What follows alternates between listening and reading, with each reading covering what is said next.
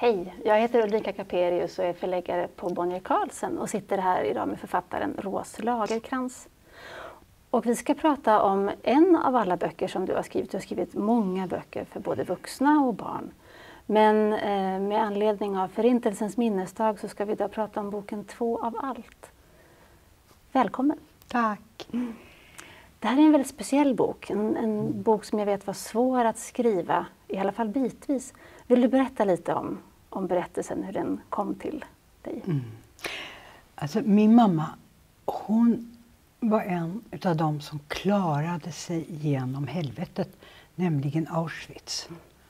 Och sen vidare till nästa helvete, det var ett arbetsläger, det var inte så farligt om jag har förstått det hela. Och sen till det värsta, och det var Bergen-Belsen. Det var massor, hela Europa var fullt av sådana här läger där man skulle förinta människor. Det är därför man säger förintelse. Det är ohyggligt, det är fullkomligt bisarrt. Hur kan man hitta på något sånt? Mm.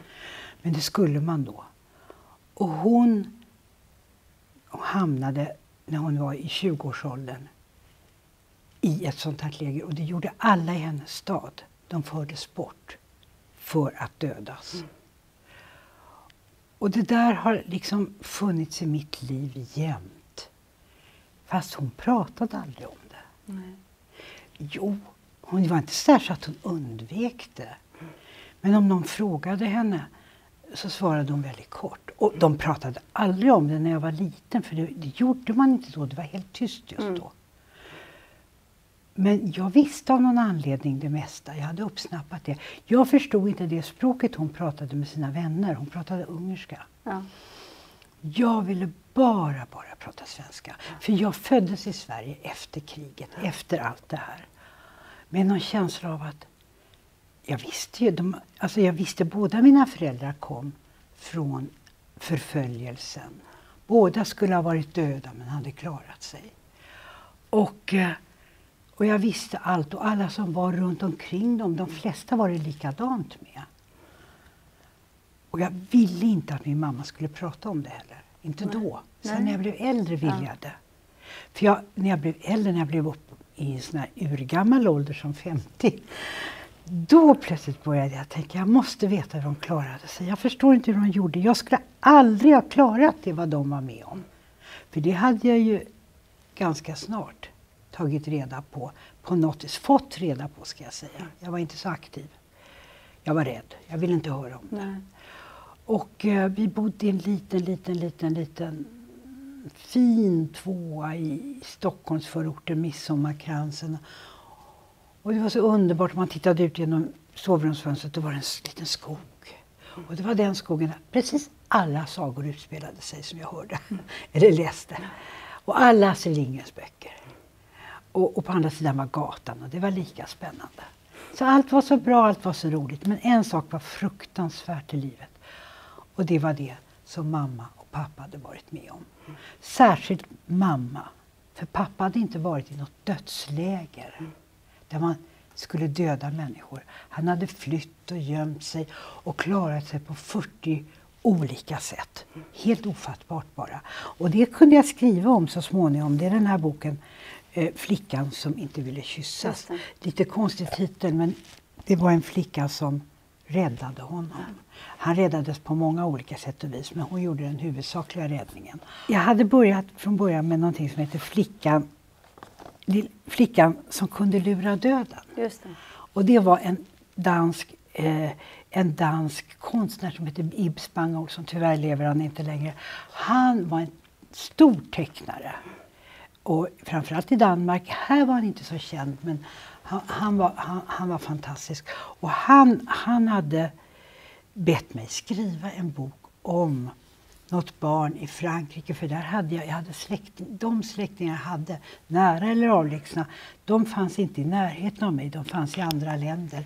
Och lilla Shaw, som den här flickan hette, hon fanns i Frankrike. Hon var gift med min min farbror. Mm -hmm. Och hon berättade sin historia och det var också en överlevarhistoria men den var inte judisk. Den handlade om ett barn som lämnades till en änglamakerska som skulle svältas ihjäl för de ville inte ha henne. Men hon överlevde. Så alla de här böckerna handlar egentligen, och det är väl det jag är på jakt efter, människor som klarar sig fast det inte är meningen att de ska göra det. Mm, det var det tema. Liksom. Det är temat, ja. ja. Och den är, det, det, det, så fort jag får nys om något sånt så, så vill jag skriva om det. Det är det som hetsar upp mig. Hur kan man göra sånt som inte går att göra? Mm. Och, och, och, den här lilla hon, hon, klarade sig från att svälta ihjäl genom att skrika så fruktansvärt så grannarna stod inte ut. Och så lämnades hon till grannens släkting i en liten stad någon annanstans och växte upp och, och blev den ja. underbaraste. Så här liten var hon till växten. Hon var så underbar för hon hade fått så lite mat som mm. slutade växa. Men hon var väldigt fin. Georgette hette hon. Pappa klarade sig. Det var meningen att han skulle dö minst 40 gånger om. Här är en annan. Eh, det är en Charlotta hette hon. Hon, hon klarade sig också, en avlägsen släkt till mig. De flesta av mina släktingar dog. Mm. Dog, de dödades. De dödades. Mm. Och jag ofta, när jag verkligen är på mitt värsta humör, så försöker jag tänka mig hur de... När förstod de att de skulle dö? För man hoppas väl hela tiden.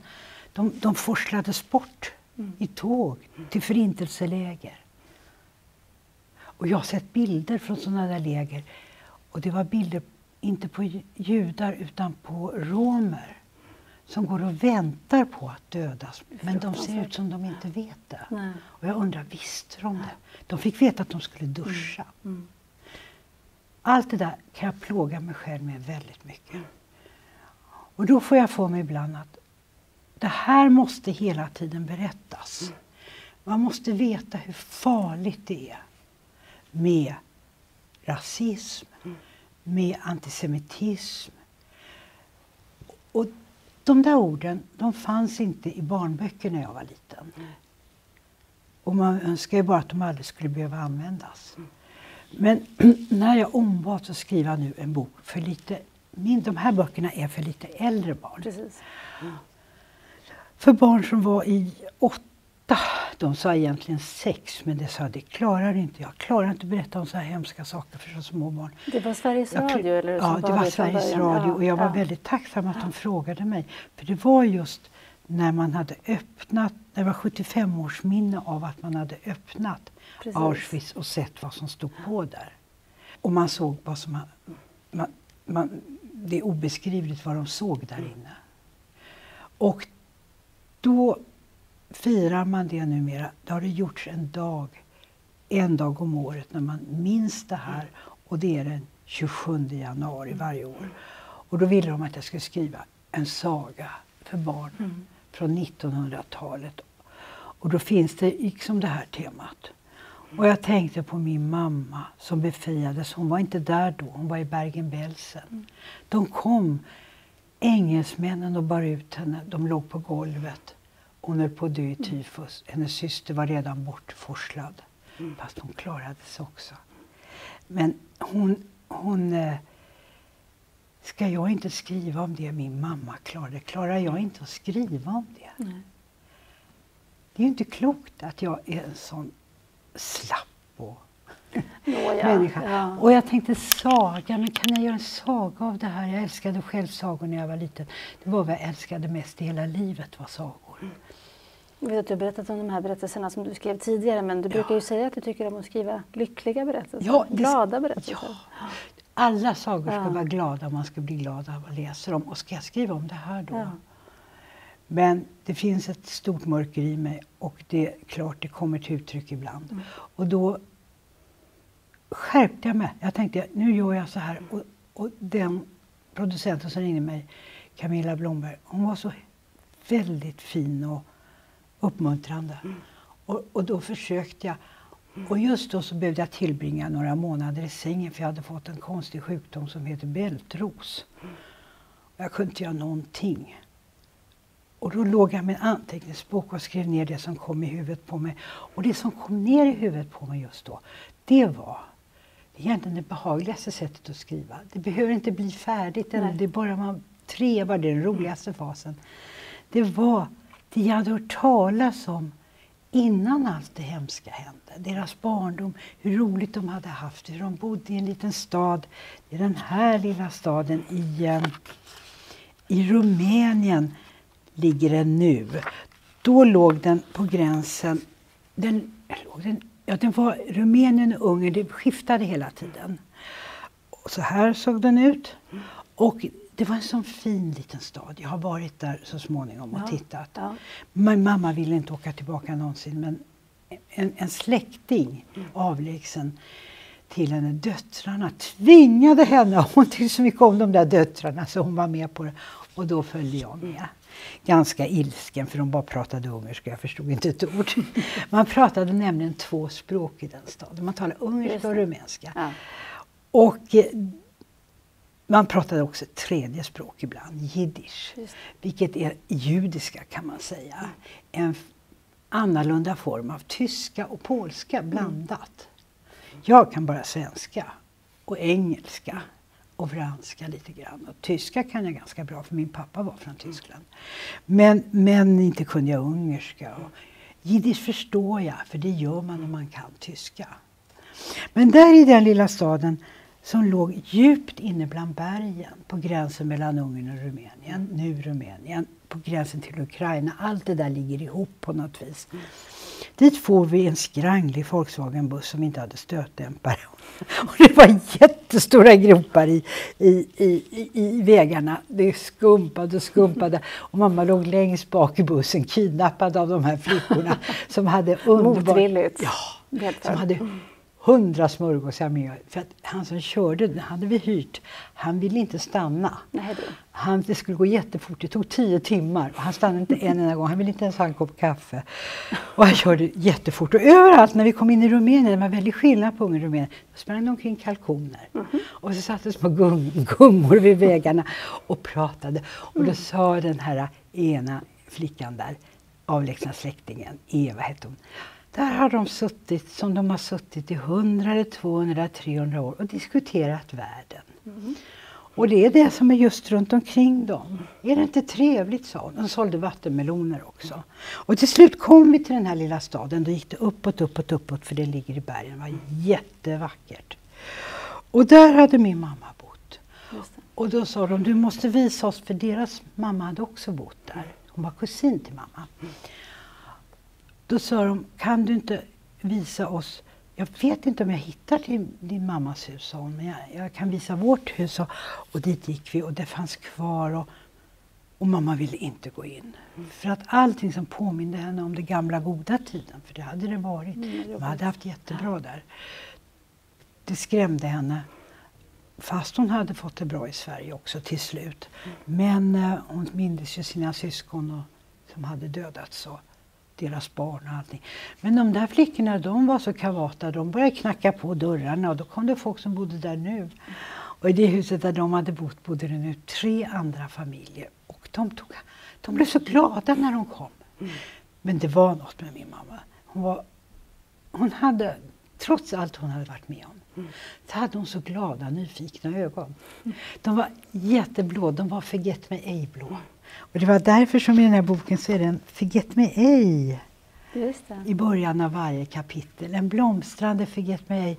Och det har Lena hittat på själv tror jag. Jag tror hon fick Becka, eller hon, Becka gjorde en sån. Ja, för du måste säga att det är din dotter Rebecka Lagercrantz ja, som har gjort det, alla bilderna precis, i den här boken. Precis, det är alltså mm. barnbarnet till Ella som var min mamma som har gjort dem och det är ju extra roligt. Mm. Och det var ett hedersuppdrag för henne. Och där är det Förget mig ej som, som reser, som vill leva, som vill finnas, fast de är plockade. Och utom en bild, där är det en Forget Me som slokar och håller på att dö. Och det är när hon själv håller på att dö. Mm. Men det är inte hon i den här boken. För Nej. det fina med att göra en saga, det är att man kan flytta över det till någon annan och få lite avstånd och berätta det lite som man vill själv utan att det stämmer precis med hur det kanske var. Ja. Och jag låg i den där sängen och tänkte, vad har jag hört? Vad har jag berättat som ingen annan berättar just nu om den här lilla staden, och livet som var där. Och då mindes jag, eftersom min mamma inte ville prata om det, nästan inget alls. När jag frågade, berätta om hur det var när du var liten. Så där som alla barn säger, vad gjorde ni för bus? Mm. Till exempel, det säger väl alla barn. Mm. Det kommer hon inte ihåg. Men hon, Hon kom ihåg att hon hade varit stygg någon gång och då hade hon inte fått gå till skridskobanan. Det var det enda hon kom ihåg. Då hade, då hade den lärarinnan de hade där, de hade såna hem, lärare i olika språk. Eh, för att han, hon hade bundit fast henne med foten vid sänggaveln så hon inte skulle kunna rymma. Det var det enda jag fick veta om barndomen. Ja, du ser. Då fick du plocka lite andra delar Ja, men då fick ja. jag Däremot så hade jag, och samma sak med, hennes, med hennes bror som också levde fortfarande, men som hade så hemska minnen så han måste få han måste gå till läkare och han måste få elchocker för att klara det. Mm. Han vill absolut inte prata om något för han var, han var den finaste människan man kunde ha att göra med, den snällaste. Och de hade lika blå ögon båda två ljusa med blå ögon. Jag ser inte alls Ja, nu när jag blivit vithårig ser jag lite mer ut som dem. Men jag har inte blå ögon. Jag har griniga grå ögon. Arga ibland. Men de var alltid glada. De var väldigt snälla. Och, men de ville inte berätta. Och då så sa jag till honom, för han bodde sedan i Amerika rest, i slutet av sitt liv. Och jag for dit och jag bad honom berätta. vad vill du höra? sa han. Kom, sätt dig här. Vad vill du höra då? Han såg jättenervös ut vid matbordet efter vi hade ätit. Ja, men berätta om när du var liten. Jag vet du var liten.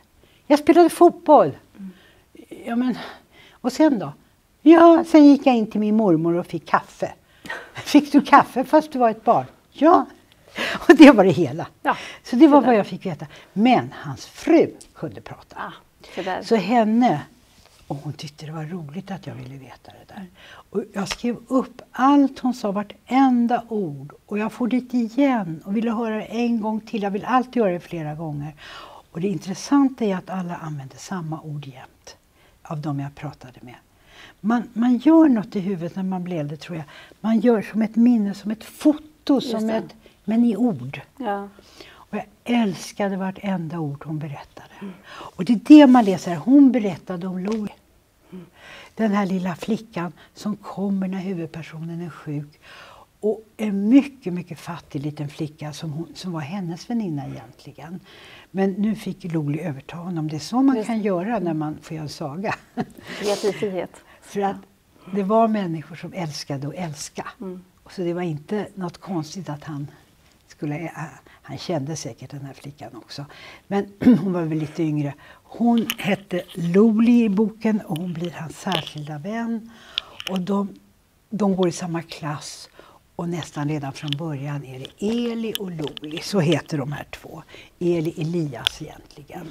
Och Loli, Lolinke, det är ett judiskt namn. Mm.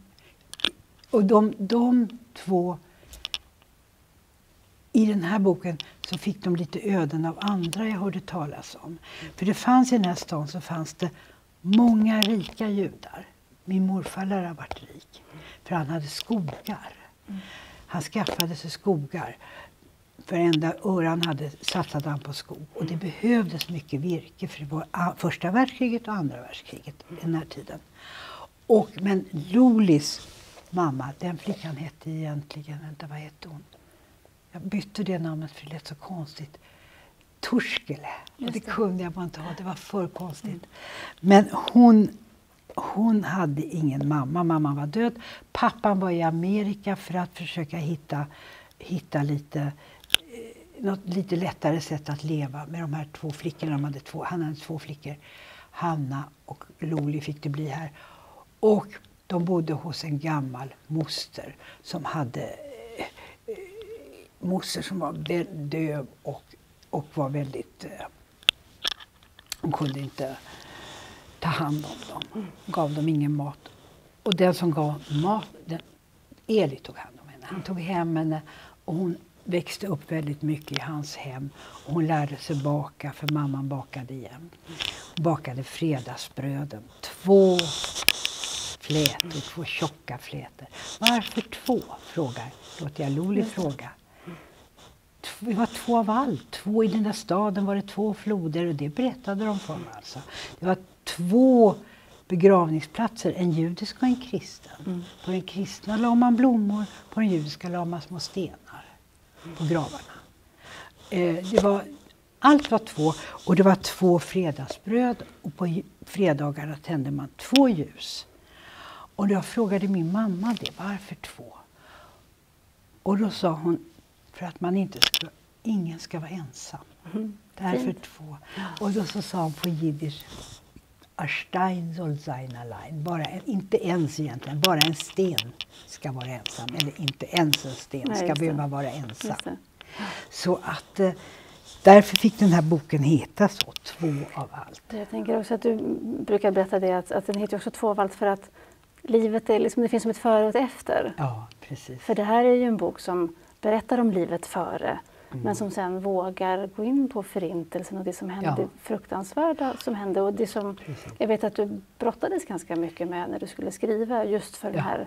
För det blev en, en, en radioföljetong först som, ja. sen, som du jobbade om sen till den här boken. Just det, och då kunde jag vara utförligare. Ja. Men det här, det här är så att eh, när, jag låter Eli berätta själv, och när han berättar om livet i den här lilla staden mm. Så är det ganska lyckligt. Utan när han blev sjuk. Det fanns inga mediciner. Mm. Hans mamma gjorde, som han fortfarande gör, kycklingsoppa. Det var den enda mm. medicinen man visste. Mm. och den trodde hon på, den hjälpte. Men då, det är då som Loli kommer och sitter hos honom mm. hela tiden och syr på dockkläder. Och så fort han säger någonting så Mår du bättre nu? Mm. Ja, han är sjuk jättelänge, men hon väntar och väntar. Och så småningom så kommer hon försvinna till Amerika för hennes pappa skickar biljetter.